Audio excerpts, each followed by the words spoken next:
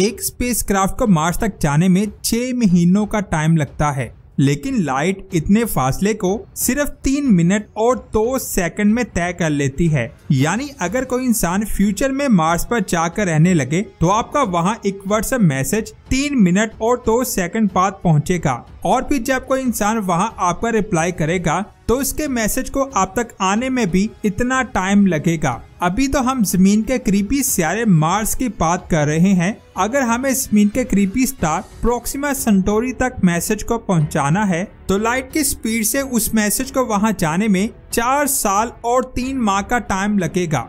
और हमारी creepy Galaxy Andromeda पर इस मैसेज को जाने में 25 लाख सैतीस हज़ार साल लग जाएँगे। अभी तो मैं एक सिग्नल की बात कर रहा हूँ, जो रोशनी की रफ्तार से ट्रेवल करता है, लेकिन अगर हम खुद वहाँ जाने का सोचें तो हमें करोड़ों साल लग जाएँगे। यानी जिन स्टार्स को हम रात को देखते हैं, हम वहाँ कभी नहीं जा सकते। अब यहाँ सोचने वाली बात यह है कि आखिर ऐसा क्यों है? आखिर हम रोशनी की रफ्तार से ज़्यादा तेज सफ़र क्यों नहीं कर सकते? आपने कई बार सुना होगा कि अगर हम रोशनी की रफ्तार से चलने लगे तो हमारे लिए बहुत सारे पैराडॉक्स खुल जाएँगे।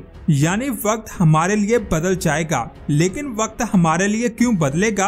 आखिर वो कौन सी चीज़ है जिससे टाइम की रफ्तार ज़्यादा हो जाती है? ये अमेजिंग इन्फॉर्मेशन आप जानोगे आज की इस वीडियो में। तो पूरी वीडियो वॉच कीजिएगा और आप देख रहे हैं स्पेस वर्ल्ड आइंस्टाइन के मुताबिक कायनात में रोशनी की रफ्तार हर चीज़ की रफ्तार से तेज है, लेकिन स्पेस की रफ्तार से नहीं। यानी स्पेस की रफ्तार, रोशनी की रफ्तार से तेज हो सकती है। अगर हम स्पेस को मैनुपलेट करना सीख लें तो शायद हम लाइट से भी ज़्यादा तेज सफ़र कर सकते हैं। 1994 में एक साइंसदान माइकल ने भी ऐसा ही एक आइडिया दिया था, जिसका नाम एल्कोबिया ड्राइव था। ये ड्राइव अपने पीछे वाली स्पेस को एक्सपेंड करती है और आगे की स्पेस को फ्लैट करती है, जिसकी वजह से वो ड्राइव रोशनी से तेज सफ़र कर लेती है, लेकिन आज ऐसी मशीन बना पाना बहुत ज़्यादा मुश्किल है। क्योंकि इसके लिए हमें बहुत ज़्यादा एनर्जी और एक्सोटिक मैटर की ज़रूरत होगी। कई लोगों का कहना है कि स्पेस में वॉर्म हॉल होता है, जिसके अंदर रोशनी की रफ्तार से भी तेज सफ़र किया जा सकता है, लेकिन अभी तक किसी को भी वॉर्म हॉल के बारे में कुछ नहीं पता कि वो कहाँ है या सच में वॉर्म हॉल है भी या ये सिर्फ़ साइंसदानों का अंदाज़ा है? अभी किसी को कुछ नहीं पता। कई सालों की स्टडी के बाद साइंसदान इस नतीजे पर पहुँचे हैं कि कोई भी चीज़ रोशनी की रफ्तार से तेज सफ़र नहीं कर सकती। अगर कोई चीज़ रोशनी की रफ्तार से सफ़र करने लगे तो कुजैलिटी का लॉ टूट जाएगा। आप सोच रहे होंगे कि कुजैलिटी क्या है? तो मैं आपको बता दूँ कायनत में हर चीज़ की एक रोशनी है। जब आप अपने मोबाइल को देखते हैं तो उसकी रोशनी को आप तक पहुँचने में कुछ टाइम लगता है। ये टाइम कुछ नैनो सेकंड्स का होता है। या फिर उससे भी कम। टाइम के इसी डिफरेंस को कुजैलिटी कहते हैं, जो रोशनी की रफ्तार की वजह से क्रिएट हो रहा है। अगर वो लाइट मोबाइल से निकलकर आप तक पहुँच ही ना पाए तो आप मोबाइल को देख नहीं पाएँगे। यानी रोशनी की वजह से आप मोबाइल को देख रहे हैं, जो एक कॉज है। और जब कोजैलिटी टूटेगी तो कायनात बनने के बाद हमें पता ही नहीं चलेगा कि कौन सी चीज़ पहले बनी और कौन सी बाद में। मिसाल के तौर पर, इस ग्राफ को देखें, जिसमें एक्स एक्सिस स्पेस है और वाई एक्सिस टाइम है। इसे स्पेस टाइम ग्राफ कहते हैं। इस कॉन्सेप्ट को हैरमन साइंसदान ने दिया था। अगर हम इस ग्राफ पर 45 डिग्री का एक एंगल बनाते हुए एक सीधी लाइन खींचे तो ये लाइट की स्पीड से स्पेस में ट्रेवल करते हुए एक ऑब्जेक्ट को शो कर रही है। इसे नल लाइन कहते हैं। इसकी रफ्तार कायनत में सबसे तेज होती है। अगर आप इस डायग्राम को ध्यान से देखेंगे तो आपको पता चलेगा कि ये लाइन टाइम और स्पेस के साथ इक्वल एंगल बनाती है। अब यहाँ ज़ीरो डिग्री से 44 डिग्री तक हर लाइन रोशनी से ज़्यादा रफ्तार को शो करेगी और 46 से 90 के दरमियान हर लाइन रोशनी से कम रफ्तार को शो करेगी। अब इस डायग्राम में स्पेस एक्सिस में ये हमारी ज़मीन है। इसे हम स्पेस में ट्रेवल करते हुए महसूस नहीं कर सकते। इसीलिए हम फ़र्ज़ कर लेते हैं कि ये स्पेस में एक ही जगह पर फिक्स्ड है। यानी ये टाइम के एक्सिस में मूव कर रही है। और स्पेस के एक्सिस में मूव नहीं कर रही। अब राइट साइड में हम एक और स्टार को फ़र्ज़ कर लेते हैं, जिसका नाम सीरियस है, जो हमारी स्पीन से 8.6 लाइट ईयर की दूरी पर मौजूद है, जो हमारी स्पीन से 8.6 लाइट ईयर की दूरी पर मौजूद है। ज़मीन की तरह इसकी हरकत भी ज़्यादा तेज नहीं होगी तो इसे भी फ़र्ज़ कर लेते हैं कि ये भी एक फिक्स्ड पोजीशन पर है। इसीलिए ये भी स्पिन की तरह टाइम एक्सिस पर ही मूव कर रहा होगा।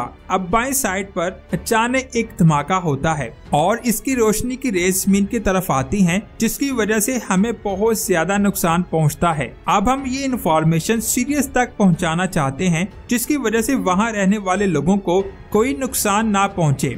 और इस धमाके की रेस से पहले ही हमारा मैसेज वहाँ पहुँच जाता है, जिसकी वजह से वो खुद को इस रेस से बचा लेंगे। ये बात आप जान लें कि यहाँ हर चीज़ मीन के हिसाब से देखी जा रही है। अब हम सारे इवेंट्स को स्पेस एक्सिस पर रहते हुए टाइम एक्सिस को स्लाइस करते हुए देखते हैं। यहाँ सबसे पहले एक्सप्लोजन होता है, उसके बाद लाइट ज़मीन से टकराती है और उसी वक्त हम अपना मैसेज सीरीज़ की तरफ़ भेज देते हैं। क्योंकि हमारे मैसेज की रफ्तार रोशनी से तेज है, इसलिए तीसरे नंबर पर हमारा मैसेज वहाँ पहुँचा और चौथे नंबर पर धमाके की रोशनी वहाँ पहुँची। यहाँ तक हर चीज़ बिल्कुल ठीक हो रही है। यानी हमने एलियंस को बचा लिया है। जो चीज़ पहले होनी चाहिए थी, वो पहले हो रही है और हर कॉज का एक इफ़ेक्ट है, जो कुजैलिटी के लॉ को फॉलो करता है। लेकिन मसला तब बनता है जब रोशनी से कम रफ्तार से ट्रेवल करने वाला एक स्पेसशिप को भी इसमें ऐड करते हैं। फ़र्ज़ करते हैं, एक स्पेसशिप ज़मीन से निकलकर रोशनी से भी कम रफ्तार से ट्रेवल करते हुए सीरियस स्टार की तरफ़ जा रहा है। जिसमें कुछ लोग भी बैठे हुए हैं, यानी पहले वाले इवेंट को देखने के बाद अब स्पेस में कुछ लोग मौजूद हैं।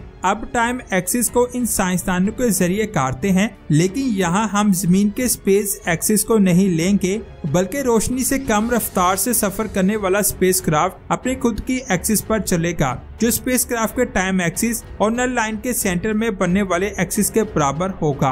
दूसरी साइड पर हम स्पेस एक्सिस को कंसीडर करते हुए टाइम एक्सिस को काटते हैं। यहाँ आप नोटिस करेंगे कि सबसे पहले धमाका नहीं हो रहा। बल्कि सबसे पहले स्मी से आने वाला मैसेज पहुँच रहा है और दूसरे नंबर पर सुपरनोवा एक्सप्लोजन हो रहा है। उसके बाद तीसरे नंबर पर एक्सप्लोजन की लाइट स्पीड पर पहुँचती है और चौथे नंबर पर ये लाइट सीरियस तक पहुँचती है। यानी यहाँ पर फील्डर गेंद को पहले पकड़ रहा है और बैट्समैन ने गेंद को बाद में हिट किया है। कोजैलिटी का लॉ ये कहता है कि पहले कोस होता है, उसके बाद ही कोजैलिटी का इफ़ेक्ट देखने को मिलता है। लेकिन यहाँ इफ़ेक्ट पहले हो रहा है कोजैलिटी बाद में दिखाई दे रही है, जिसकी वजह से यहाँ कोजैलिटी ब्रेक होती हुई नज़र आ रही है। असल में ऐसा रोशनी से तेज मैसेज भेजने की वजह से हो रहा है, जो कोजैलिटी के लॉ को ब्रेक करके टाइम को चेंज कर रहा है। वो साइंसदान जो रोशनी से कम रफ्तार वाले स्पेसशिप में हैं, उनके हिसाब से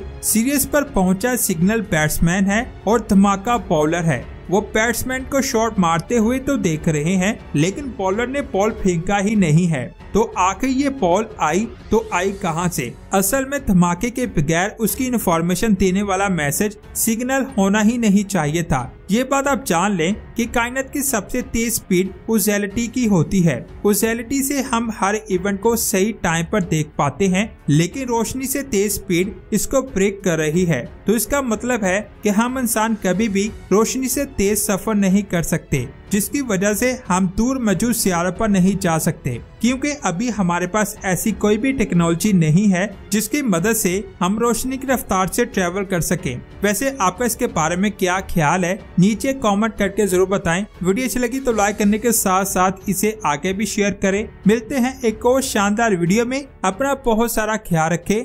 अल्लाह हाफिज।